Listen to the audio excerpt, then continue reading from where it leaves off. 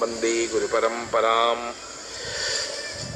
చిత్రం వటతరోర్మూలే వృద్ధా శిష్యా గురుర్యువా గురోస్తు మౌనం వ్యాఖ్యానం శిష్యాస్తు చిన్న సంశయా వాగర్ధావివ సంపృక్తౌ వాగర్ధ ప్రతిపత్తై జగత పితరౌ వందే పార్వతీ పరమేశ్వరౌ హరి ఓం ఇది మా స్తోత్రం ఒకటి కాపీ ఇవ్వండి.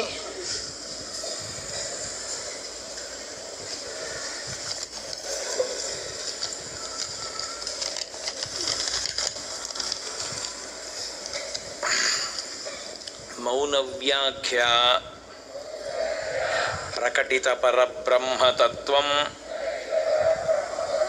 युवानं वर्षिष्ठान्ते। वसदृषिगणैः। आवृतं ब्रह्मनिष्ठैः। आचार्यीन्द्रं करकलितचिन्मुद्र ఆనందరూపం. స్వాత్మారామం. ముదితవదనం. దక్షిణామూర్తిమీడే. వటబిటపి సమీపే. భూమిభాగే నిషణం నిషణ్ణం సకలమునిజనానాం జ్ఞానదాతారమారాత్. త్రిభువనగురుమీశం. దక్షిణామూర్తిదేవం. జననమరణదుఃఖచ్ఛేద.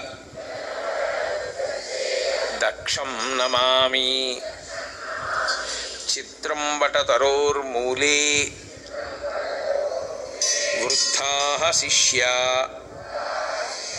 గురుర్యువా. గురోస్తు మౌనం వ్యాఖ్యానం శిష్యాస్తు ఛిన్న సంశయా నిధయే సర్వవిద్యానాం భిషజే భవరోగిణాం గురవే సర్వలోకానాం దక్షిణామూర్తయే నమ ప్రణవార్థాయ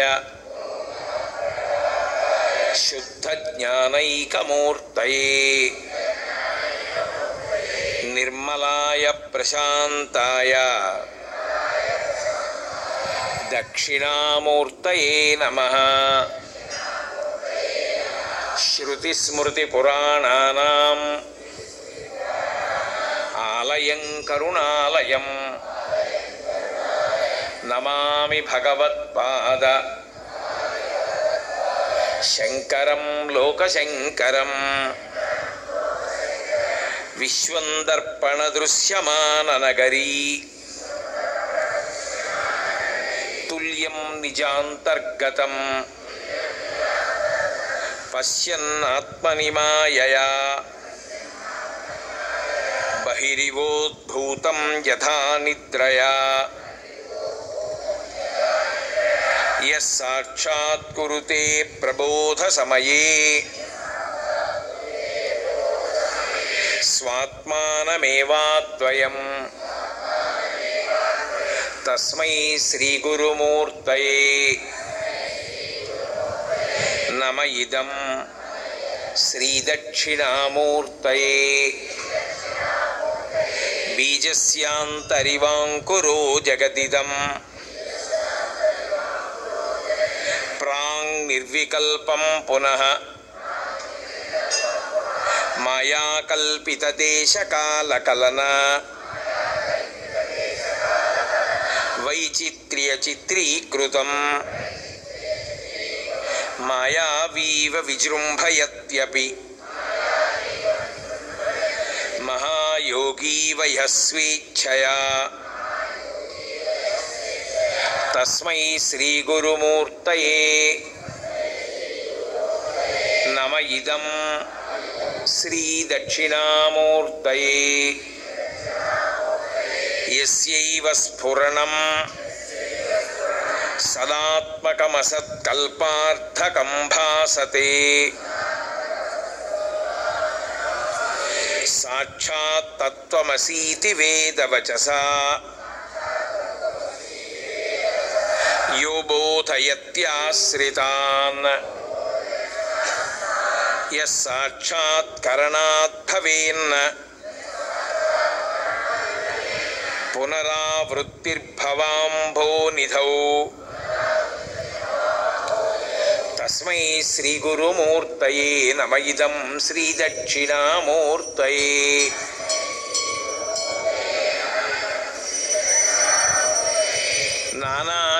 నానాచిద్రఘటోదరస్థిత दीप ज्ञानं यस्य तु चक्षुरादि। करणद्वारा बहिस्पन्दते जानामीति तमेव भान्त। अनुभात्येतत्समस्तं जगत्। తస్మై శ్రీగురుమూర్తయే నమ ఇదం శ్రీదక్షిణామూర్తయే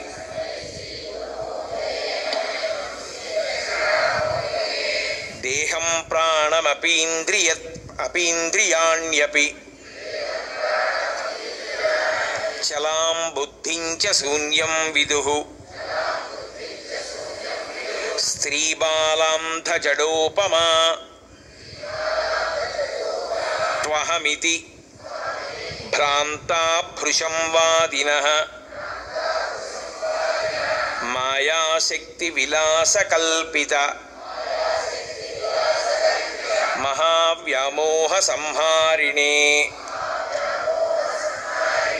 तस्मै श्रीगुरुमूर्तये। नम इदं श्रीदक्षिणामूर्तये। राहुग्रस्तदिवाकरेन्दुसदृशो। मायासमाच्छादनात्। सन्मात्रकरणोपसंहरणतो। यो भूत्सुषुप्तुः पुमान् प्रागस्वाप्समिति। प्रबोधसमये। ह्यः प्रत्यभिज्ञायते। तस्मै श्रीगुरुमूर्तये नम। इदं श्रीदक्षिणामूर्तये।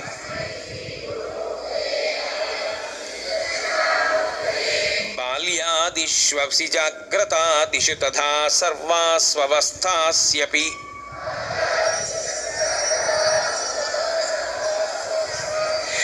व्यावृत्तास्वनुवर्तमान।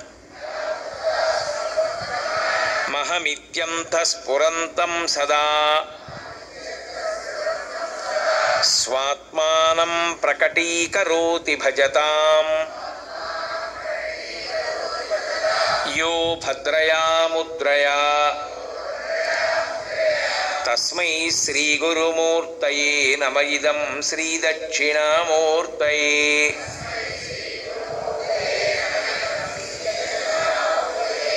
ముద్రయా తస్మై శ్రీగురుమూర్తయే నమ ఇదం శ్రీదక్షిణామూర్తయే విశ్వం పశ్యతి కార్యకారణతయా స్వస్వామి సంబంధత శిష్యాచార్యతయా తథైవ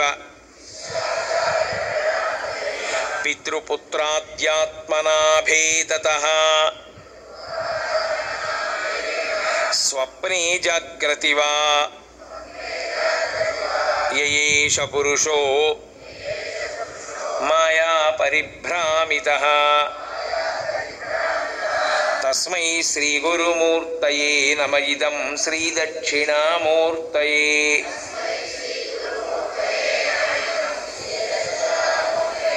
భూరంభాంస్యనలో నిలోంబర.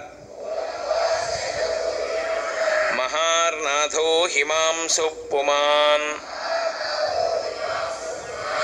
शक्त्या भाति चराचरात्मकमिदम्। यस्यैव मूर्त्यस्थकम्। विद्यते। विमृशतां यस्मात् परस्मात् विभो। यस्मात् परस्मात् विभो। ఇక్కడ చిన్న దోషం ఉంది దిద్దుకోండి. తస్మై శ్రీ గురుమూర్తయే నమయిదం శ్రీ దక్షిణామూర్తయే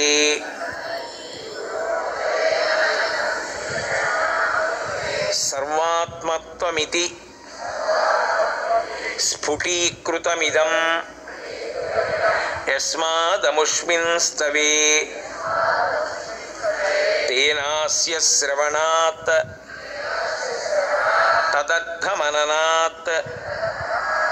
ध्यानाच्च सङ्कीर्तनात् सर्वात्मत्वमहाविभूति। सहितं स्यादीश्वरत्वं स्वतः। सिद्धीत् तत्पुनरष्ठदा परिणतम् ఐశ్వర్యమవ్యాహతం. శ్రీ దక్షిణామూర్తి శ్రీ దక్షిణామూర్తి అనేటటువంటి నామానికి ఉన్న వ్యాఖ్యానంలో ఒక నామం గురించి నిన్న మీతో నేను మనవి చేసి ఉన్నాను. దక్షిణాభిముఖామూర్తి ఎస్య సహా దక్షిణామూర్తి అని వేరొక నిర్వచనం. దక్షిణాభిముఖంగా కూర్చుంటాడు కాబట్టి ఆయనకి దక్షిణామూర్తి అని ఒక పేరు. దక్షిణాభిముఖంగా ఆయన ఎందుకు కూర్చుంటాడు అన్నది నేను మీతో చెప్పి ఉన్నాను. ఆయన మృత్యుంజయుడు. లోకాలన్నీ కూడా మృత్యువు చేతికి వశమైపోతాయి. కానీ ఆయన ఒక్కడే మృత్యువునకు వశమయ్యేటటువంటి లక్షణం ఉన్నవాడు కాడు. మృత్యువునకు వశము కానివాడెవరో ఆయనే పరబ్రహ్మస్వరూపుడు. పరబ్రహ్మస్వరూపుడై ఉంటాడు కనుకనే ఆయనే సృష్టికర్త ఆయనే స్థితికర్త ఆయనే ప్రళయకర్త. ఆయనే ఈ బ్రహ్మాండాలన్నింటినీ సృజిస్తాడు. ఎవ్వడు సృజించు ప్రాణుల ఎవ్వడు రక్షించు త్రుంచు ఎవ్వడనంతుండెవ్వడు విభుడెవ్వడు వాడి విధమున మనుచు వినుచు హేలారతుడై అంటారు పోతనగారు ఆ పరబ్రహ్మ స్వరూపంగా ఆయనే ఈ బ్రహ్మాండములను సృష్టిస్తాడు. ఆయనే నిలబెడతాడు. ఆయనే లయించేస్తాడు అందుకే దానికి చాలా దగ్గరగా ఉండేటటువంటి ఉపమానంగా ఏం చెప్తారంటే ఊర్ణనాభిగతి అంటారు. ఊర్ణనాభి అంటే సాలెపురుగు. సాలెపురుగుకి సంకల్పం కలుగుతుంది. నేను ఇక్కడ గూడు కడితే బాగుండును అనుకుంటుంది. కొత్తగా బయట నుంచి సాధన సంపత్తులు ఏం తేదు. ఒక్కసారి ఆ కోరిక పుట్టగానే దాని నోట్లోంచి ఒక రకమైనటువంటి ద్రవము ఊరుతుంది. ఆ ద్రవంతో అది గూడు కట్టుకోవడం మొదలు పెడుతుంది ఎక్కడెక్కడ తగల్చడానికి అవకాశం ఉందో అక్కడక్కడ తీగ తగలుస్తూ ఒక గూడు కట్టుకుంటుంది. ఆ గూడు అంతట్లో తను తిరుగుతుంది. తిరిగి దానికి ఎప్పుడో చికాకు పడుతుంది. ఈ గూడంతా కూడా పాడు చేసేద్దాం అనుకుంటుంది. అనుకుని ఆ గూడు పాడు చేసి వెళ్ళిపోతుంది. ఆ గోడ మీదకి వెళ్ళి ఆధార తంతువులు ఉంటాయి వాటిని తెంపేస్తుంది. తెంపేస్తే ఆ గూడు కిందకి జారిపోతుంది జారిపోయిన తర్వాత తాను యథేచ్ఛగా వెళ్ళిపోతుంది. ఊర్ణనాభిగతి ఈ విశ్వ సృష్టి స్థితి ఎవనియందు లయంబగుచుండు అంటారు పోతన గారు.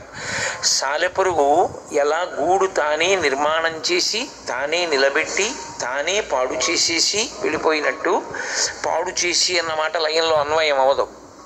లోపలికి తీసేసుకుంటాడు తనలోకి. ఈ మూడు చెయ్యగలిగిన వాడెవరో ఆయనే పరబ్రహ్మముగా ఉంటాడు.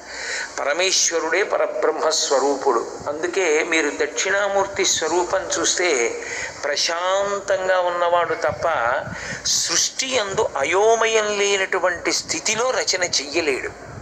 మీరు ఎప్పుడైనా చూడండి ఒక పని ప్రారంభం చేసే ముందు ఈ పని ఎలా చేస్తే బాగుంటుంది అని ప్రణాళిక నిర్మాణం చేస్తున్నారనుకోండి అప్పుడు మీరు ఉద్వేగంతో కానీ కోపంతో కానీ విపరీతమైన హర్షంతో కానీ ఉన్నారనుకోండి ఖచ్చితంగా పని ఎలా జరగాలి అన్నది మీరు ప్రణాళిక రచన చేసేటప్పుడు తప్పులు చేస్తారు. భవిష్యత్తుని ఊహించి ఇప్పుడిప్పుడు ఈ సాధన సంపత్తులు దీనికి ఉంటే తప్ప ఈ కార్యక్రమం జయప్రదం కాదు అని దానికి కావలసినటువంటి సంభారములను సమకూర్చుకుని ప్రణాళికా నిర్మాణం చేయడంలో వైక్లభ్యం వస్తుంది. అదే ప్రశాంతమైన మనస్సుతో ఉన్నాడనుకోండి ఆయన చేసినటువంటి పని ఎందు అయోమయావస్థ ఉండదు. సృష్టి ఎందు అయోమయం కానీ ఏర్పడింది అనుకోండి చాలా ప్రమాదం. సృష్టి చేసేటప్పుడు అయోమయం ఉండకూడదు అందులో. సృష్టిని వికసనము అంటారు. వికసనము అంటే విచ్చుకోవడం. అది బహుక్రమ పద్ధతిలో ఉండాలి. నేను మీకు తేలిగ్గా అర్థం అవ్వాలి అంటే ఒక్క మాట చెప్తే మీరు పట్టుకుంటారు. ఒక కుక్క కడుపున కుక్కే పుట్టాలి. ఒక పిల్లి కడుపున పిల్లే పుట్టాలి. ఒక ఆవు కడుపున ఆవే పుట్టాలి. మనుష్యుని కడుపున మనుష్యుడే పుట్టాలి. తప్ప సృష్టిలో ఎవరి కడుపున ఎవరు పుడతారో తెలియదు అన్నాం అనుకోండి అయోమయం వస్తుంది. ఏది ఏది తినాలో అదే తినాలి. శాకాహారి అంటే మీరు తీసుకొచ్చి ఎంత పక్వం చేసి పెట్టిన మాంసమైనా అది ముట్టుకోదు. అది పుట్టుకతో స్వభావం వస్తుంది. ఏనుక్కి ఎవరు నేర్పరు నువ్వు మాంసాహారం తినద్దని. కానీ ఏనుగు ముట్టుకోదు మాంసాహారం. అంతే అలాగే ఉంటుంది. ఆవుకి ఎవరు నేర్పరు? నువ్వు గడ్డి తినని. అది గడ్డి తింటుంది. దేనికి ఏది ఎలా చెయ్యాలో అలా దానికి కావలసినటువంటి సంభారాన్ని సమకూర్చాలి. అది అలా సమకూర్చడంలో ఎక్కడైనా పొరపాటు వచ్చిందనుకోండి ప్రమాదం వస్తుంది. మీకు నేను ఒక ఉదాహరణ చెప్పాలి అంటే పిల్లి ఎలకని పట్టుకోవడంలో చాలా నేర్పరితనంతో ఉంటుంది. ఆ ఎలకని పట్టుకునేటప్పుడు చిన్న చప్పుడైతే ఎలక పారిపోతుంది. అందుకే పిల్లి కాళ్ళలో మాంసపు ముద్దలు ఉంటాయి. అది నడిస్తే చప్పుడు అవదు ఎలకకి కూడా తెలియదు పిల్లి వస్తోందని. ఒక బాతు నీటి మీద పెడుతూ ఉంటుంది. నీటి మీద వెళ్ళేటటువంటి బాతు పాదాలకి వేళ్ళ మధ్యలో నాకు ఉన్నట్టుగా ఖాళీ ఉందనుకోండి నీళ్ళు ఆ వేళ్ళ మధ్యలోంచి పైకొచ్చి బాతు నీటిలో మునిగిపోతుంది. అందుకే బాతు వేళ్ళ మధ్యలో పల్చటి చర్మం ఉంటుంది. ఉంటుంది కాబట్టి అది పడవకి తెడ్డేసినట్టుగా ఆ పాదాలని ఆధారం చేసుకుని నీటి మీద నడిచి వెళ్ళిపోతుంది. ఏది ఎలా తినాలో దానికి అనుగుణంగా ఉండాలి. బాతు పురుగుల్ని నీటిలో పట్టే విధానం గమ్మత్తుగా ఉంటుంది. నీటిని అంతటినీ తన చంపుటములలోకి తీసుకుంటుంది. తీసుకుని మూసేస్తుంది. మూసేస్తే పురుగులు ఉండిపోతాయి. ఆ పై చంపటానికి ఈ ముందుకి రెండు కన్నాలు ఉంటాయి అది మూసినప్పుడు ఆ కన్నాల్లోంచి నీళ్ళు బయటికి వెళ్ళిపోతాయి. ఒక్క పురుగులు మిగిలిపోతాయి లోపలికి లో తోసేసుకుంటుంది. ఆ పురుగుల్ని తినేస్తుంది. దేనికి ఏది అవసరమో దాన్ని అలా నిర్మించాలి తప్ప బాతు కాళ్ళవేళ్ళ మధ్యలో చర్మం పెట్టడం నేను మర్చిపోయానన్నాడు అనుకోండి పరమేశ్వరుడు. చాలా ఉంటుంది. ఆరున్నరకి ఉపన్యాసానికి డేటు పుచ్చుకోవడం తేలిక. కానీ వచ్చినటువంటి వక్త ఉపన్యాసానికి అనుగుణంగా ముందే ఒళ్ళు దగ్గర పెట్టుకుని స్పీకర్ రెడీ చేసుకోవడం చాలా అవసరం. తప్ప వచ్చినవాడు కాళ్ళు చోప కూర్చునేలా ఉంటే ఆ మైక్ ఏర్పాటు చేసిన వాడిని మళ్ళీ పిలవకూడదు. కాబట్టి సృష్టి ఎందు అయోమయం ఉండకూడదు. ఏదైనా ఒక పని చేసే ముందే దాని గురించినటువంటి వ్యవస్థని ఆలోచన చేసుకుని జాగ్రత్త పడాలి. అలా జాగ్రత్త పడకపోతే అయోమయం వస్తుంది. మనం చేస్తామేమో ఇలాంటి తప్పులు. పరమేశ్వరుడి సృష్టి ఎందు ఈ దోషం ఉండదు. అది చాలా క్రమంగా ఉంటుంది.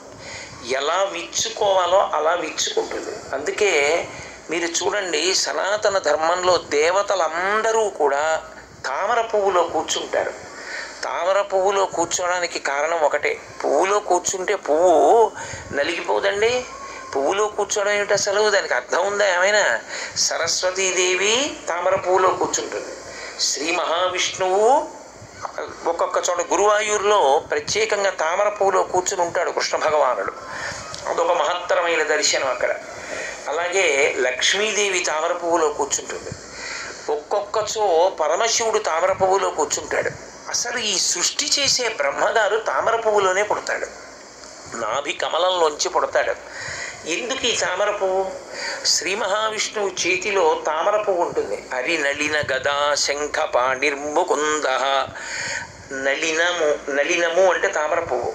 తామర పువ్వు పట్టుకుంటుంది. పరదేవత ఆవిడ కూడా చేతిలో ఎప్పుడూ కూడా ఒక తామర పువ్వుని పట్టుకుంటుంది. అందుకే లలితా సహస్రనామ స్తోత్రం చేసేటప్పుడు ప్రార్థనా శ్లోకంలో సింధూరారుణ విగ్రహం త్రినయనాం మాణిక్య మౌళి స్ఫుర తారానాయక శేఖరాం స్మితముఖీం ఆపీనమక్షోరుహాం పాణిభ్యాం అళిపూర్ణరత్న చషకం రక్తోత్పలం బిభ్రతీం రక్తోత్పలం ఎర్రటి కలువ పట్టుకుంటుంది.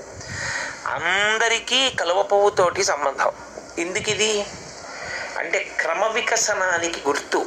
అది బురదలో పుడుతుంది. కానీ సూర్యకిరణములు పడుతూ ఉంటే ఆ మొగ్గ విచ్చుకునేటటువంటి ప్రక్రియ అద్భుతంగా ఉంటుంది. అసలు ఆ తామర పువ్వు యొక్క వికసనము సృష్టి అని మాట్లాడితే అదొక్కటే కొన్ని రోజుల ప్రసంగం. అన్ని తామర పువ్వులు ఒకలా విచ్చుకోకూడదు. ఒక్కొక్కటి నీటి బిందువుని లోపల ఉంచుకోవాలి. ఒక్కొక్కటి ఉంచుకోకూడదు. నల్లకలు ఉందనుకోండి నల్లకలువ లోపల చిన్న చిన్న నీటి బిందువులు ఉండి తీరాలి. అందుకే శంకరాచార్యులు వారు అమ్మవారి కంటిని పోలిస్తే ఎప్పుడైనా నల్లకలువతో పోలుస్తారు. దృశాద్రగీయస్య దరదళిత నీలోత్పల రుచాదవీయాంసం దీనం అంటారు. దరదళిత నీలోత్పల రుచా అందులో నీటి తడి లేదనుకోండి ఇక కంటితో పోల్చడానికి వీలు లేదు ఎందుచేత అంటే కంటిలో తడి ఆరిపోయింది అంటే ప్రమాదం. అది శుభప్రదం కాదు. కంటి ఎందు చమాయింపు ఉండాలి ఇప్పుడు. కంటి ఎందు చమాయింపు ఉంది అంటే శోభనకరమైనటువంటి స్వరూపంతో ఉన్నారు అని గుర్తు. కాబట్టి ఆ తడి ఆ ఆర్ద్రత ఉన్నది అని గుర్తు ఏమిటంటే దరదలత దరదళిత నీలోత్పల రుచా. అన్ని పువ్వులకి అలా లోపల నీటి బిందు ఉండదు. ఒక్క నల్లు నల్ల కలువకి మాత్రమే ఆ నీటి బిందువులు లోపల ఉంటాయి చల్లతనం నల్లతనం రెండు కలిసి ఉంటాయి.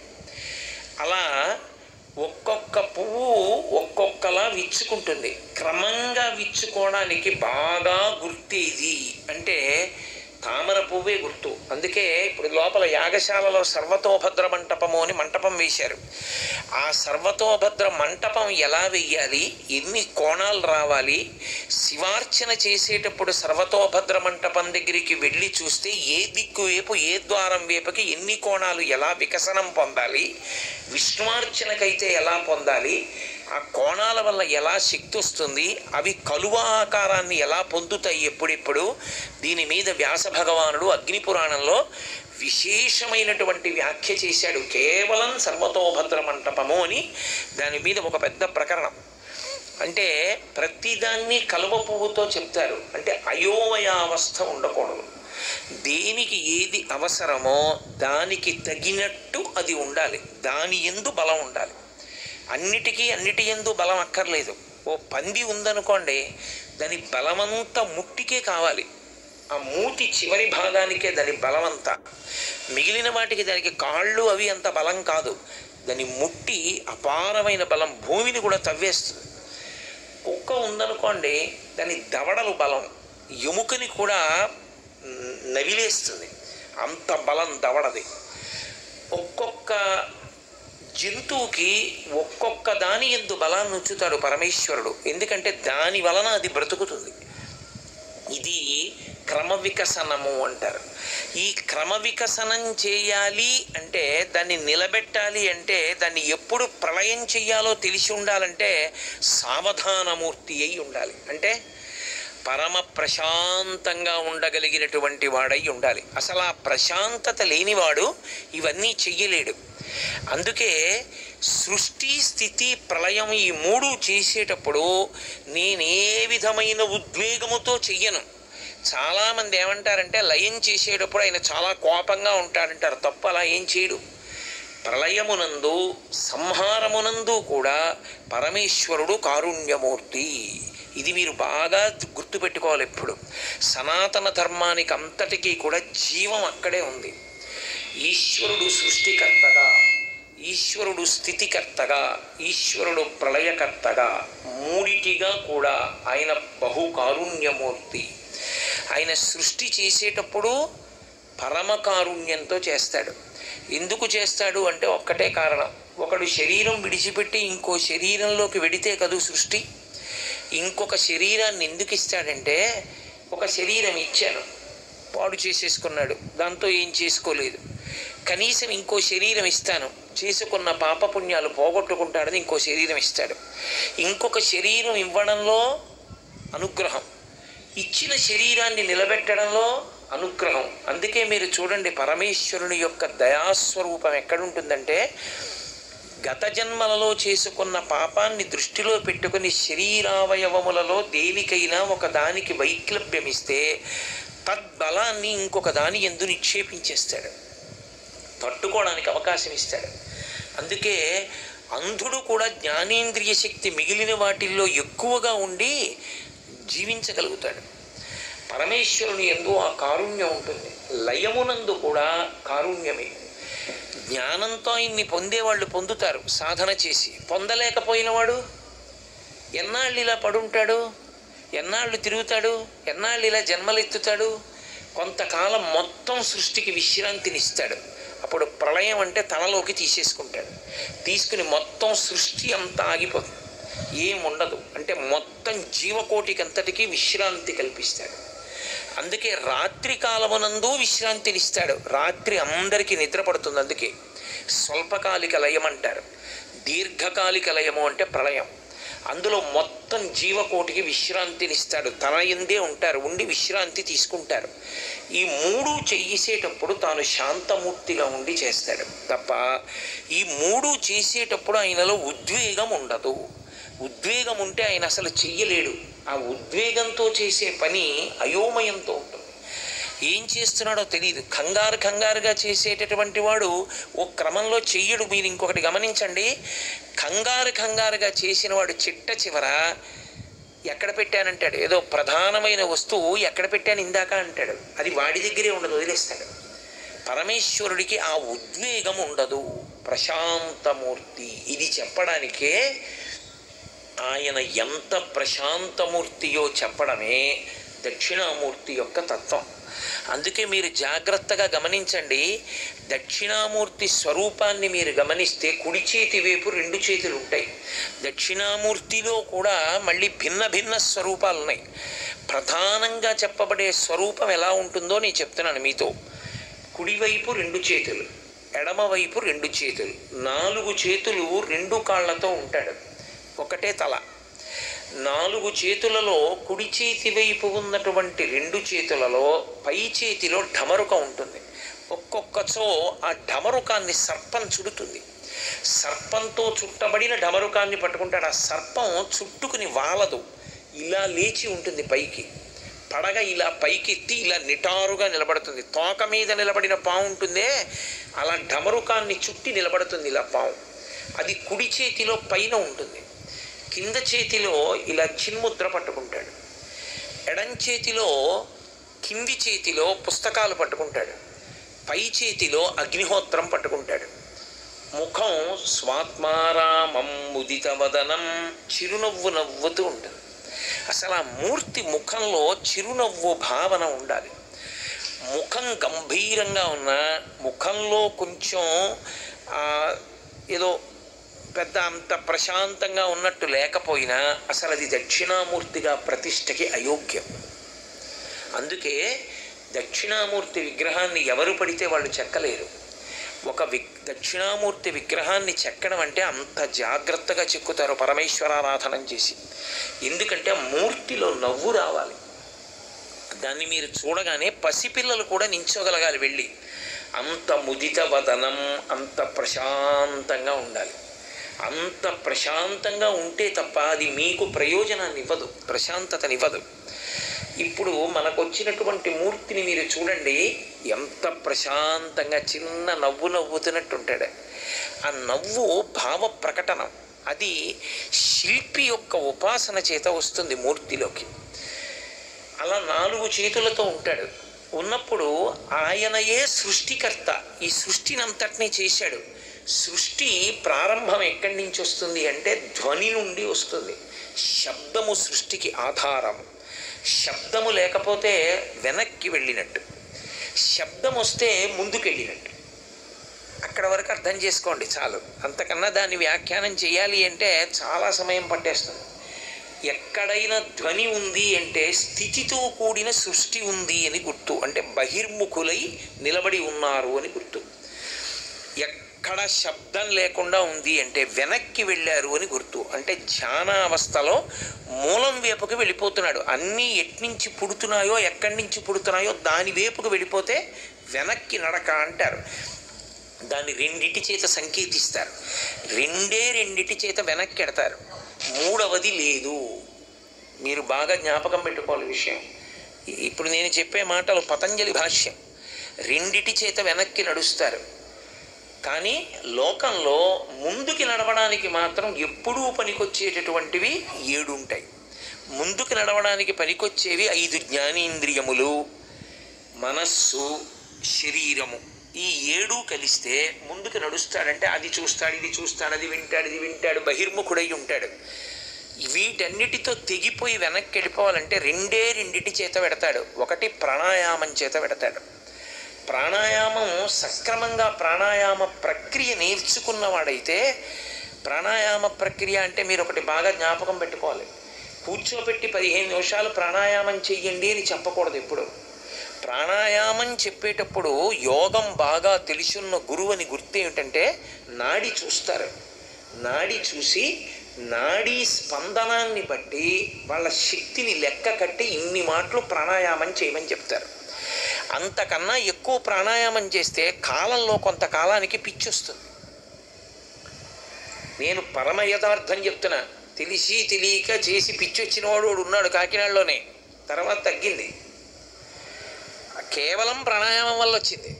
అతి ప్రాణాయామం చేయకూడదు. శరీర శక్తిని దాటిన ప్రాణాయామం చేయకూడదు. అందరికీ సరిపోయే ప్రాణాయామం మూడు మార్లే. ఎవరికైనా సరిపోతుంది. అందుకే మూడు మాటలే. ఓం భూహు ఓం భువ ఓం సుమ ఓం మహాజన తప ఓం సత్యం తత్సవితృపరేణ్యం వెళ్ళిపోతుంది మంత్రం. మూడు మాటలే చేయిస్తారు. మూడు దాటితే మీకు శక్తి ఉండాలి. తప్ప ప్రాణాయామం ఇష్టం వచ్చినట్టు చేయకూడదు. కాబట్టి ప్రాణాయామం చేత వెనక్కి ఎడతాడు. వెనక్కి ఎందుకు ఎడతాడు అంటే ప్రాణాయామము మనసుని నిలబెట్టేస్తుంది ఊపిరి మీద మనసు ఆధారపడుతుంది. ఊపిరిని నియంత్రిస్తే మనసు నిలబడుతుంది. మనసు నిలబడితే ఛ- వెనక్కి వెడుతుంది. వెనక్కి వెడితే మూలం వైపుకు వెడుతుంది ఆత్మ వైపుకి. ఉద్వేగంతో మామూలుగా ఊపిరి తీస్తే ముందుకెడుతుంది. యోగ శక్తిగా మారుతుంది. ధ్యానంలో రెండవది ధ్యాన ప్రక్రియ. ధ్యానం ఎలా చేయాలో తెలుసుకుని జాగ్రత్తగా ధ్యానం చేయడానికి అలవాటు పడితే ధ్యానం ఎలా చెయ్యాలి అన్నది కొత్తగా ఎవరూ చెప్పక్కర్లేదు. మీరు బాగా జ్ఞాపకం పెట్టుకోండి.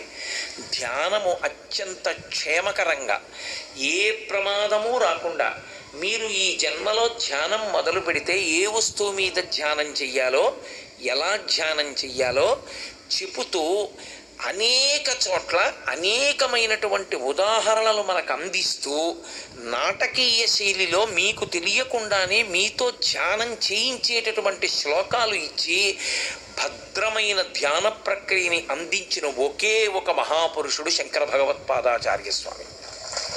శంకరులు ఇచ్చారు ధ్యాన ప్రక్రియ అంతా. ఎన్నో శ్లోకాల శ్లోకాలు ధ్యానమే. మీరు ప్రత్యేకించి సౌందర్యలహరి తీసుకుంటే సౌందర్యలహరిలో ఒక్కొక్క శ్లోకం ధ్యానమే. ఆ ధ్యానంలో మీరు ఆ శ్లోకాన్ని కానీ ఎవరికి అవసరమో వాళ్ళకి అది చెప్పగలగాల ప్రజ్ఞ గురువుకు ఉండాలి. అందుకే సౌందర్యలహరి సౌందర్యలహరి అంతా కూడా ఉపాసన శాస్త్రం శక్తిది. నాకు అంత బాగా జ్ఞాపకం ఉండట్లేదండి ఈ పిల్లాడికి అంటారు. ఈ పిల్లాడికి జ్ఞాపకం ఉండట్లేదు అంటే ఏ శ్లోకం ఇవ్వాలో శ్లోకంలో ఎలా ధ్యానం చెయ్యాలో ఆ పిల్లవాడికి నేర్పితే వాడికి విశేషమైన ధారణాశక్తి వచ్చేస్తుంది. ఎందరో ఉన్నారు అలా శంకరాచార్యుల వారి హృదయాన్ని పట్టుకోగలగాలంటే శంకరాచార్యుల వారి అనుగ్రహం ఉండాలి. కాబట్టి ధ్యానము చేత వెనక్కిడుతుంది మనస్సు. ఎదురుగుండా ఉన్న వాటిని వదిలిపెట్టేసి వెనక్కి వెళ్ళి ఆత్మని పట్టుకుంటుంది. ఈ రెండు వెనక్కి నడవడానికి సాధనాలు. ఏడు ముందుకి నడవడానికి సాధనాలు. ఇందులో మీరు జాగ్రత్తగా గమనించండి దక్షిణామూర్తి పరమ ప్రశాంతంగా ఉండి కుడి చేతిలో పైభాగంలో ఢమరుకం పట్టుకుంటారు. ఆ ఢమరుకం శబ్దం చేస్తుంది. శబ్దము వేరు ధ్వని వేరు. మళ్ళీ రెండిటికి తేడా ఉంటుంది.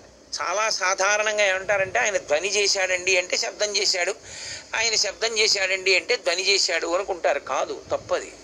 శబ్దము అంటే అర్థసహితము. దానికి అర్థం ఉంటుంది. అందుకే వేదమంతా కలిపి శబ్దరాశి. ధ్వని అంటే దానికి ఏ విధమైనటువంటి అర్థము ఉండదు. ఏమైనా నీకు చేత కాకపోతే చెప్పు నేను కుర్చీ ఆ మధ్యలో వేసి చెప్పేస్తాను. వాళ్ళకి ఇబ్బంది ఉండదు. వినపడిన వాళ్ళకి వినపడుతుంది. శబ్దరాశి అంటే వేదం. శబ్దము అంటే దానికి ఒక అర్థం ఉంటుంది.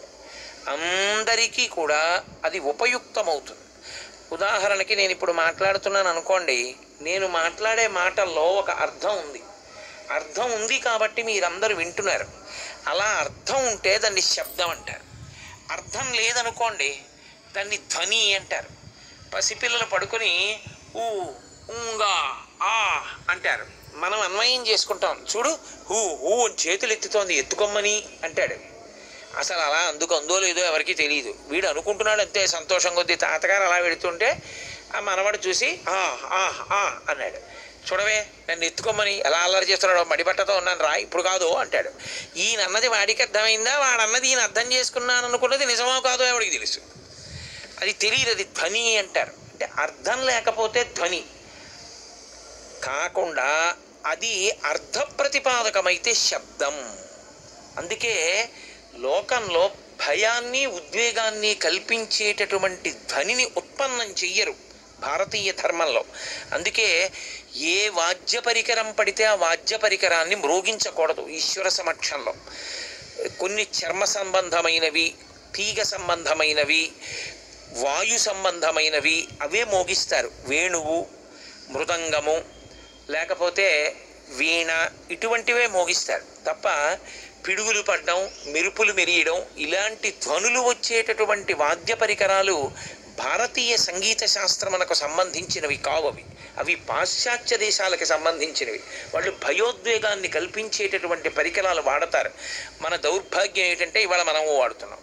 కాబట్టి అవి మనం వాడేవి కావు అసలు యథార్థానికి. కాబట్టి సృష్టి అంతా కూడా శబ్దంలోంచే ఉత్పన్నం అవుతుంది ఇప్పటికీ బిగ్ బ్యాంగ్ థీరీ అంటారు కదండి. మొదటి విస్ఫోటనంలోంచే సృష్టి ప్రారంభమైంది అని. కాబట్టి ఆ ఢమరుకం శబ్దం సృష్టికి ప్రతీక. సృష్టి అంటే ఏదో బోళ్ళంత మంది పుట్టేయడం కాదు. ఈ పుట్టిన వాళ్ళందరికీ కూడా మళ్ళీ ఒక ప్రత్యేకమైనటువంటి పద్ధతి ఉండాలి. వాళ్ళు తరించడానికో మార్గం ఉండాలి. ఆ మార్గం ఉండాలంటే పరమశివుడు మోగించినటువంటి ఢమరుకలోంచి మాహేశ్వర సూత్రములు వచ్చాయి అందులోంచే వ్యాకరణం వచ్చింది. అందులోంచి సృష్టి వచ్చింది. వ్యాకరణమును ఆధారం చేసుకుని సమస్తమైన వాంగ్మయం వచ్చింది. వాంగ్మయము తరించడానికి కారణమైంది. అందుకే ఇప్పటికీ వ్యాకరణం చెప్తే మడి కట్టుకుని ఒక్క శివాలయంలోనే చెప్తారు. శివాలయంలో వ్యాకరణ మంటపం అని ఒక మంటపం కడతారు. అందులో గురువుగారు మడి కట్టుకుని కూర్చుని శిష్యులకి నేర్పుతారు. మనకి ఒక రెండు తరాల ముందు వరకు శివాలయాల్లో వ్యాకరణ మంటపాల్లో మడి కట్టుకుని గురువుగారు చెప్తుంటే వ్యాకరణం నేర్చుకున్నటువంటి పండితులు ఉండేవారు. తరువాతి కాలంలో పోయింది. కాబట్టి ఆ వ్యాకరణ మంటపం శివాలయంలో ఉంటుంది. ఈ ఢమరుకం శివుడి చేతిలో ఉంటుంది. అంటే సమస్త వాంగ్మయము సృష్టి ఆయన చేతిలోంచి వచ్చాయి. ఇప్పుడు ఈ చేతిలోంచి సృష్టి రావడం ఢమరుకం. శబ్దం ఉత్పన్నం అవడం మరి పాము నిల్చారుగా నిలబడ్డం? పాము నిటారుగా నిలబడడం అనేటటువంటి దానికి అర్థం ఏమిటంటే కుండలిని శక్తిని ప్రచోదనం చేయడం. అంటే ఏ శబ్దానికి కూడా దూరంగా తానుండి మౌనంలో వెన్నుపావును నిటారుగా ఉంచి లోపలే విశేషమైనటువంటి యోగశక్తి చేత కుండలిని కదుపుతారు. కదిపితే పైకి లేస్తుంది ఊర్ధ్వముఖ చలనం చేస్తుంది. అది చలనం చేసినప్పుడు ఇక ఈ శబ్దాలు ఏమీ ఉండవు. అది బిసతంతుతని ఎసి అని తామర తూడులోంచి పైకెక్కినట్టు పైకెక్కుతుంది. పైకెక్కి అది చివరికి ఎక్కడికెడుతుందంటే సహస్రారంలో పార్వతీ పరమేశ్వరుల యొక్క సంయోగ దర్శనం చేస్తూ యోగి అమృతధారల చేత తడిసిపోతాడు. ఆ అమృతధార చేత తడిసిపోయేటటువంటి తత్వానికి గుర్తు నిలబడినటువంటి పాము. అందుకే భారతీయ యోగశాస్త్రంలో పాము రెండింటికి సంకేతం. ఒక పాము పాడైపోవడానికి గుర్తు. పాము కాటు పాడైపోవడానికి గుర్తు. నిలబడినటువంటి పాము ఊర్ధ్వముఖ చలనానికి గుర్తు. అందుకే మీకు భారతీయ ధర్మంలో ఏ దేవతకి కూడా పాముతో సంబంధం లేకుండా ఉండడం. మీరు చూడండి కృష్ణుడికి పాము శంకరాభరణము అని పాము పరమశివుడికి ఆభరణం. విఘ్నేశ్వరుడికి పాము యజ్ఞోపవీతం నాగ యజ్ఞోపవీత ధారిణం అని విష్ణువు శేషశైనం అందరికీ పాముతో సంబంధం ఉంటుంది. సుబ్రహ్మణ్యుడి నెమలికి పాము చుట్టుకుని ఉంటుంది. ఈ పాము దేనికి గుర్తు అంటే అమృతత్వం వైపుకి తీసుకెళ్ళడానికి గుర్తు. ఈ సృష్టిలో ఈ వాంగ్మయం అంతా చదువుకోవడం చదువుకోవడం చదువుకోవడం వినడం వినడం వినడం ఎందుకు పనికి రావాలంటే చదువుకోవడమే పిచ్చిగా చదువుకోవడానికి కాదు. అందుకే కుడి చేతి వైపు ఉంటే వదిలిపెట్టకూడనిది అని గుర్తు. ఎడం చేతి వైపు ఉంటే కొంతకాలం తర్వాత వదిలేయాలి అని గుర్తు. అందుకని దూష్యం ఎక్కువ పట్టుకోవద్దు సుమా అని గుర్తు. అప్పుడు ఎడం పక్కకి ఇస్తారు. దక్షిణామూర్తికి ఎడం పక్క చేతిలో పుస్తకం ఉంటుంది. అంటే ఒక స్థాయి వరకు చదువుకో. తప్ప చదువుకుని తరించిపోతాను అనుకుంటే అంతకన్నా అమాయకత్వం ఇంకోటి లేదు. చదువుకుని తరించాడు ఎవడు? చదువుకున్న దాంట్లో ఏదో ఒకటి పట్టుకుని అనుష్ఠానం చేయి. ఏదో ఏకశబ్ద సంయజ్ఞాత సృష్ట ప్రయుక్త స్వర్గే లోకే కామదుర్భవతి. ఒక్క శివనామం చాలు. ఒక్క రామనామం చాలు. ఒక్క శక్తినామం చాలు. ఒక్క మంత్రం చాలు. ఒక్క నమస్కారం చాలు. నువ్వు ఏదో ఒకటి పట్టుకో. గట్టిగా దాన్ని పట్టుకో. పట్టుకున్నది వైదికమయ్యేటట్టుగా చూసుకో. అవైదికమైన దాన్ని పట్టుకుంటే ఉయ్యాల ఎక్కి కాశీ వెళ్ళినట్టు ఉంటుంది. ప్రయాణం ఉండదు. చేయడమే మిగులుతుంది. వైదికమైన దాన్ని పట్టుకుంటే నువ్వు చేరవలసిన దాన్ని చేరిపోతావు. అంటే అనుష్ఠాన ప్రక్రియకి గుర్తు ఏమిటంటే మనసులో తిప్పడం రావాలి. అందుకే కుడి చేతి వైపుకి జపమాల ఉంటుంది. మీరు చూడండి దక్షిణామూర్తి కుడి చేతిలో పై చేతిలో ఢమరుకం ఉంటుంది. నిలబడిన సర్పం ఉంటుంది. అక్షమాల చేత్తో తిప్పే మాల ఉంటుంది. అంటే వంద ప్రసంగాలు చేయడం కన్నా ఇప్పుడు నేను ఇక్కడికి వచ్చి రెండు గంటల ఉపన్యాసం చెప్పడం కన్నా యథార్థానికి చిత్రం వటతరోర్మూలే వృద్ధా శిష్య గురుర్జువా అన్న శ్లోకాన్ని జపం చేస్తూ లోపల దక్షిణామూర్తిని రెండు గంటల పాటు దర్శనం చేస్తే నాకు వచ్చే అభ్యున్నతి నిజానికి రెండు గంటల ఉపన్యాసం చెప్పడంలో రాదు. లోపల తిప్పడం ఎవరు తిప్పుతాడో వాడు ధన్యుడు. అందుకే కుడి చేతిలో అక్షమాల ఉంటుంది జపమాల. తిప్పడం అనుష్ఠానం చాలా అవసరం. ఎన్నో వింటాడు. ఉఖాన బొట్టు కూడా ఉండదు. ఎందుకు ఆ వినడం ఎవడకు కావాలి నీకు బొట్టెట్టుకోవడానికి చాలా మొహమాటం. ఏమిటి విని ఏమిటి సాధిస్తావు? ఏమీ లేదు. ఎక్కడో రాయి దెబ్బ తగిలి ముందుకు పడి మచ్చబడితే ఏం చేస్తావు? బొట్టెట్టుకోవడానికి కష్టం. వాడు ఇన్ని వింటే ఏం ఉపయోగం నాకు చెప్పండి? ఏమీ ఉండదు. అనుష్ఠానం ప్రధానం. అందుకే జపమాల పైన పట్టుకుంటాడు. అది సృష్టికి గుర్తు. స్థితి ఆయన చిరునవ్వుతో కూడుకున్న ముఖం. నిలబెట్టేటటువంటి వాడు పోషించేటటువంటి వాడు చిరునవ్వుతో పోషించాలి. లేకపోతే అది శక్తిగా మారదు. అది ఎంత తొందరగా ఈ శరీరం వదిలేద్దామా అన్నదానికి కారణమవుతుంది. మీరు అందుకే చూడండి స్థితి అన్న మాటలో ఊపిరి కడుపు ఈ రెండు కలిస్తేనే స్థితి. మీరు నేను అన్న మాటలు జాగ్రత్తగా పట్టుకోవాల్సి ఉంటుంది సుమా. కడుపు ఊపిరి కలుస్తాయి. ఎందుకంటే కృతయుగం త్రేతాయుగం ద్వాపరయుగం కలియుగం ఈ నాలుగిటిలో ప్రాణానికి ప్రాణాలు నిలబడే స్థానాలు వేరు. కృతయుగంలో ఎముకలున్నంత కాలం బతికుంటారు. త్రేతాయుగంలో మాంసం ఉన్నంత కాలం బతికుంటారు. ద్వాపర యుగంలో రక్తం ఉన్నంత కాలం బతుకుతారు. కలియుగంలో అన్నం తిన్నంత కాలం బతుకుతాడు మీరు చూడండి అన్నం పెడితే బతకడు. అన్నం పెట్టేటప్పుడు చచ్చిపోతున్నాను దిక్కుమాలని అడివి ఉంటే ఎంత ఊడిపోతే ఎంత? ఐదు పైసలు ప్రయోజనం లేదు. నీకు చేయడానికి నీకు పెట్టడానికి చస్తున్నాం అంటూ అన్నం పెట్టారనుకోండి రెండు రోజుల తర్వాత ఈ దిక్కుమాలిన బతుకు బతికే కన్నా ఈ ఊపిరి ఎందుకు ఆగిపోవట్లేదో? సావు మంచిది చిచి ఇలా అన్నం తినే కన్నానని అతను తన ఊపిరి ఆపుకోవడానికి ప్రయత్నిస్తాడు. మనిషికి సావు మీద అనురక్తి మొదలవడానికి కారణం ఏమిటో తెలుసా? ప్రేమగా అన్నం పెట్టే మనిషి లేకుండా పోతే ఉండి ఏం ప్రయోజనం అన్న ఆలోచన వచ్చేస్తుంది. ఎన్ని ఉన్నా అదొక్కటి లోటు వస్తే ప్రమాదం వస్తుంది. అందుకే పురుషుడి జీవితం అంతా ఎవరి మీద ఉంటుందంటే భార్య మీద ఉంటుంది. ఏమీ కానివ్వండి. ఆ అన్నం తినేటప్పుడు కడుపు నిండా తిన్నారా అంటుంది. ప్రేమగా పెడుతుంది. బతుకుతాడు పురుషుడు. నీ వల్ల బతికేశానే అంటాడు. ఆవిడ లేదనుకోండి గృహిణి గృహముచ్యతే. ఏమనుకోకండి. ఆవిడ లేదనుకోండి ఆ ఇంట ఏమిటో అనిపిస్తుంది. ఎందుకంటే ఏది? ఆ అన్నం పెట్టిన చెయ్యేది? ఆ గాజులు చెయ్యేది? లేదు. వెళ్ళిపోయింది. కాబట్టి ఆ అన్నానికి ఊపిరికి దగ్గరి సంబంధం. ఈశ్వరుడు అన్నం పెట్టినప్పుడు తృణీకరించి పెట్టాడు ఎవ్వరికి. ఆయన పరమ ప్రేమతో పెడతాడు. ఇన్ని కోట్ల జీవరాశులకు అన్నం పెడుతున్నవాడెవరు? ఆయనే. ఆయన పెట్టినప్పుడు ప్రేమతో పెట్టాడు తప్ప వీడు నాకేం చేశాడని పెట్టడం. తండ్రి కొడుకు తనని ప్రేమించినా ప్రేమించకపోయినా అన్నం పెడతాడు. అలాగే తను పెట్టిన అన్నం తినికి తన తనకి వ్యతిరేకంగా మైకులో తిడుతున్నా ఆయన అన్నం పెడుతూనే ఉంటాడు. పోన్ లేరా లేరా అంటాడు. అది ఆయన ప్రేమ.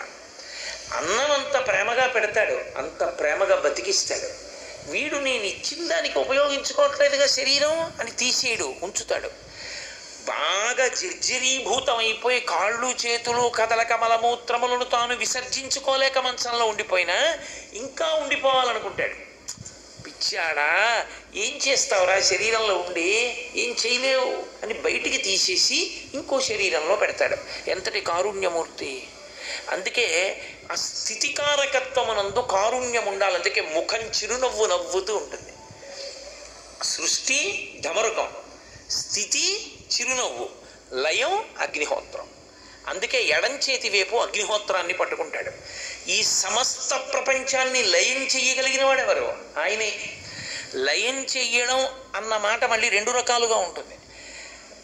ఆ శరీరం పడిపోయేటట్టు చేయడం ఒక ఎత్తు ఆ శరీరం పడిపోవడం కాదు ఇక మళ్ళీ శరీరంలోకి రావలసిన అవసరం లేకుండా చేయడం ఒక ఎత్తు. చేసుకున్న పాపపుణ్యాల కొద్దీ ఆ శరీరం పడిపోయి ఇంకో శరీరంలోకి వెళ్ళాలనుకోండి ఈ శరీరాన్ని పడగొడతాడు అగ్ని ఇంకో శరీరాన్ని ఇస్తాడు డవరకం. పరమభక్తి తత్పరుడై జీవనం చేశాడు అనుకోండి వాడికి జ్ఞానం ఇచ్చేస్తాడు. ఇక మళ్ళీ నువ్వు పుట్టక్కర్లేదంటాడు. దాన్ని ఆత్యంతిక ప్రళయము అని పిలుస్తారు. ఆ జ్ఞానం ఇచ్చి రక్షిస్తాడు.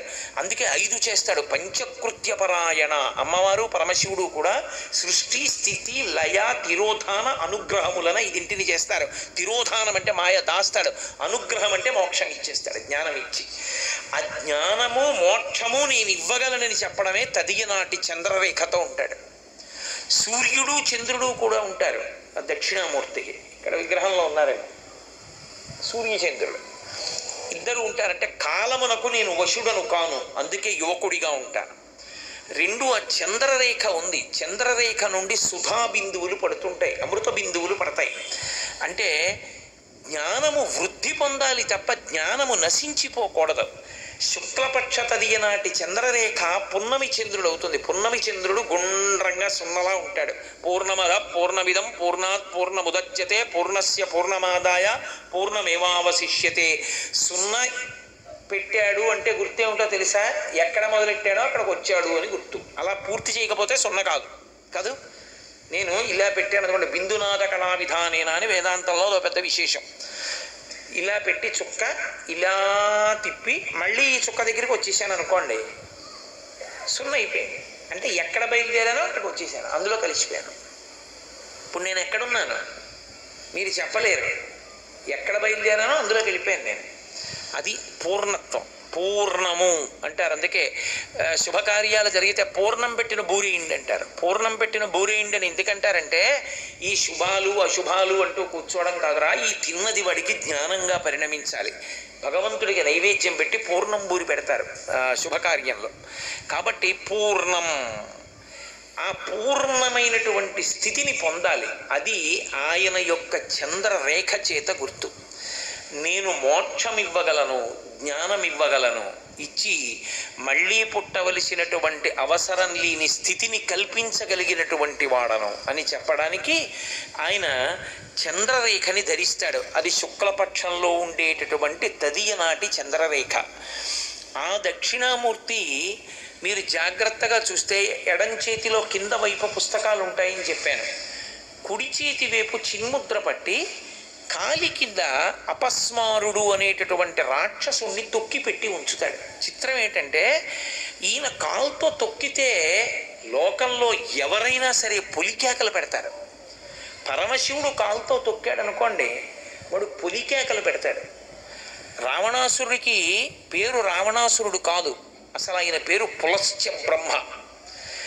దశానన తాతగారు పెట్టిన పేరు ఏమిటంటే దశగ్రీవ అని పెట్టారు. పది తలకాయలతో పుట్టాడని దశగ్రీవుడు అని పెట్టాడు. విశ్వవసో బ్రహ్మ తండ్రిని అడిగాడు పులశ్చ బ్రహ్మ అని ఏమని పెట్టమంటారు నాన్నగారండి? వీడికి పేరు అన్నారంటే దశగ్రీవ అని పెట్టరా అన్నారు. వాడికి దశగ్రీవుడని పేరు.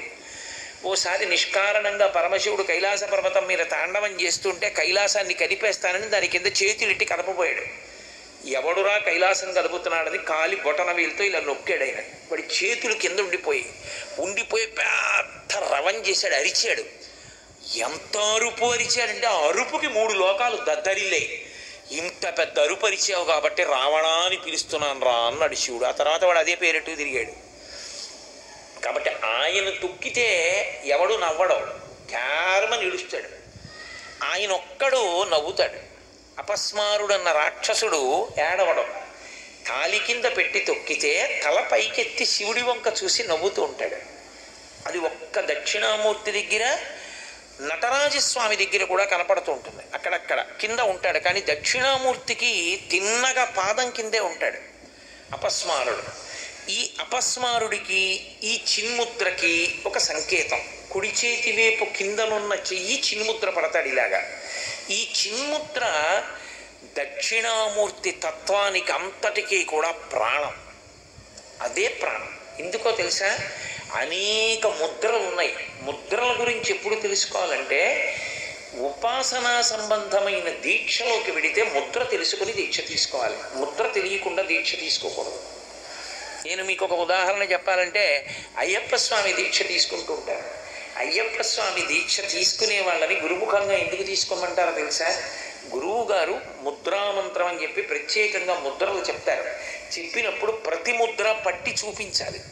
చూపించి ఆ ముద్ర ఎలా పడతారో ఆ ముద్ర అలా పడితే ఏమిటి ప్రయోజనమో చెప్పాలి.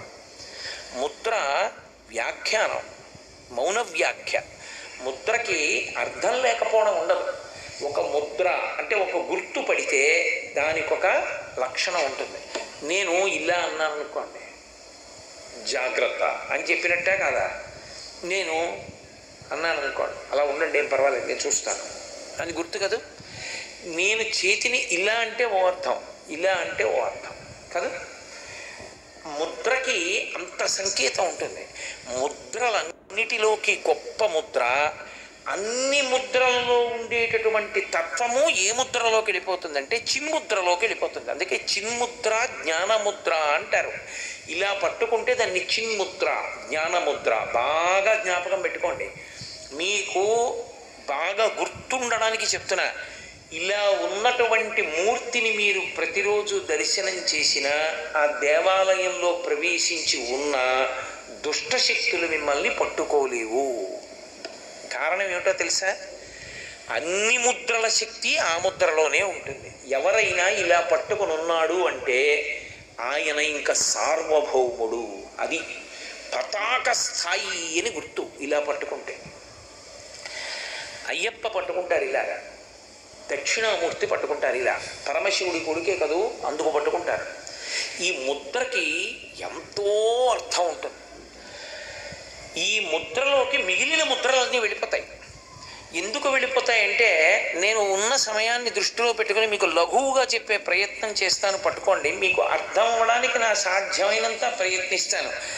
ఈ శరీరమునందు రెండు శక్తులు ఉంటాయి ఒకటి క్రియాశక్తి అంటారు. రెండవది జ్ఞానశక్తి అంటారు. ఇవి శరీరంలోనే కొన్ని కొన్నింటిని జ్ఞానశక్తి పట్టుకొని ఉంటుంది. కొన్ని కొన్నింటిని క్రియాశక్తి పట్టుకొని ఉంటుంది.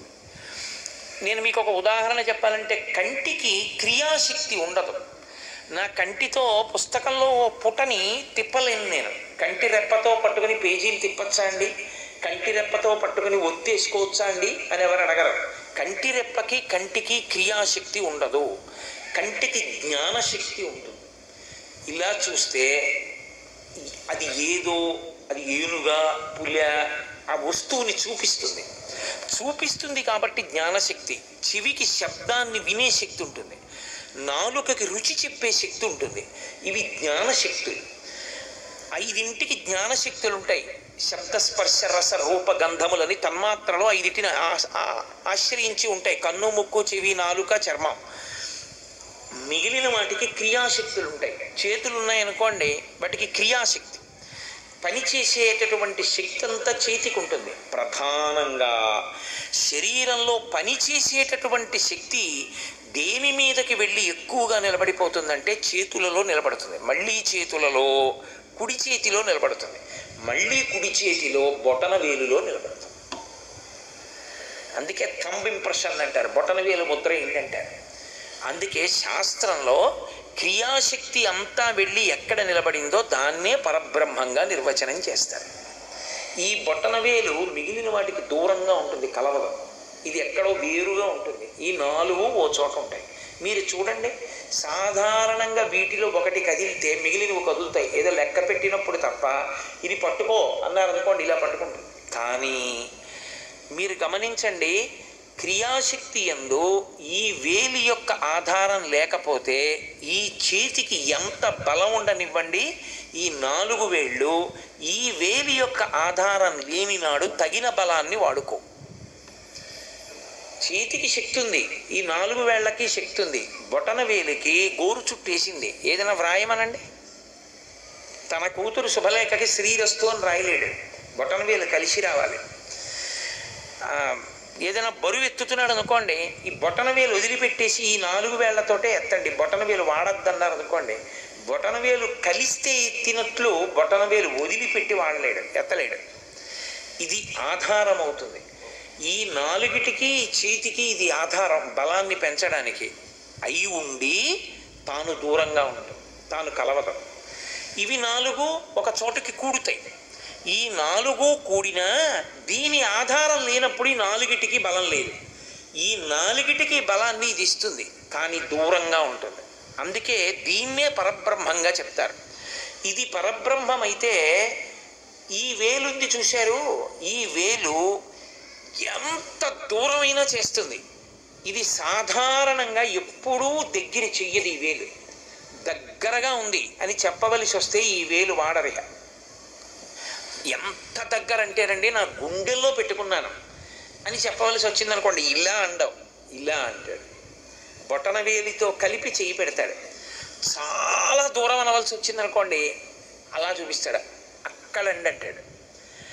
భగవంతుడు ఎక్కడున్నాడండి అని అడిగారు అనుకోండి ఎక్కడో కొండ మీద ఉన్నాడండి ఎక్కడో ఆకాశంలో ఉంటాడండి అని ఇలా చూపిస్తాడు. ఈ వేలు దూరం చేస్తుంది. బాగా దూరం చేసేది ఈ వేలు. బాగా దూరం చేసినటువంటిది ఈ వేలైతే ఎక్కడో లేడురా పరమాత్మ ఇక్కడే ఉన్నాడని చెప్పేది ఈ వేలు. అతి దగ్గరతనాన్ని చెప్తుంది ఈ వేలు. అందుకే భగవంతుడు ఎంత ఉంటాడు అంటే అంగుష్టమాత్రుడై ఉంటాడు ఇక్కడ. బొటన వేలంత వాడై ఉంటాడు లోపల. జీవుడు అంగుష్టమాత్రుడై ఉంటాడు. మన మీరు భారతంలో ఉన్నారుగా జీవుడే బ్రహ్మము. ధర్మరాజు గారు చెప్పలా? అందుకని బొటన వేలంత ఉంటాడు. బొటనవేలంత ఉన్నటువంటి జీవుడు బ్రహ్మము కనుక బొటనవేలు భగవంతునికి సూచన. ఇది దూరం చేయడానికి సూచన. ఇది దగ్గర చేయడానికి సూచన. దూరంగా ఉన్నాడు ఉన్నాడన్నవాడు ఎక్కడో లేడు ఇక్కడే ఉన్నాడని తెలియచేయబడితే అసలు ఎక్కడో వెతకడం కాదురా ఇక్కడ నాలోనే ఉన్నాడు భగవానుడు అని తెలుసుకుంటే ఇది వంగిపోయి దీంతో కలిసిపోతుంది. ఇలా కలిసిపోయిందో ఎక్కడ విడిపోయాడో అక్కడ కలిసిపోయాడు. కలిసిపోయాడు కాబట్టి సున్నైపోయింది. అందుకని చిన్ముద్ర అప్పుడు ఈ మూడు వేరుగా అయిపోయి దూరం చేస్తున్న వేలు వచ్చి బొటన వేలుతో కలిసిపోయింది. అందుకని చిన్ముద్ర కాదు. చిత్రం ఏమిటంటే ఈ నాలుగు కలిశాయి అనుకోండి ఈ నాలుగు కలిసి ఉన్నంతసేపు మాయ ఎందు తిరుగుతూ ఉంటాడు. మాయ ఎందు తిరగడం అంటే ఏమిటో అనుకుని మీరు పెద్ద హడావిడి పడిపోక్కర్లేదు. మీకు నేను ఒక్కటే చెప్తా సత్యానికి సత్యము ఎదురుగుండా ఉంటుంది. కనపడదు. మాయ ఉండదు ఉన్నట్లు కనపడదు. ఉండక ఉన్నట్లు కనపడితే మాయ ఉండి కనపడకపోతే సత్యం. ఉండి ఉన్నట్లుగా కనపడిపోయింది అనుకోండి సత్యం అర్థమైపోయిందని గుర్తు అంతే.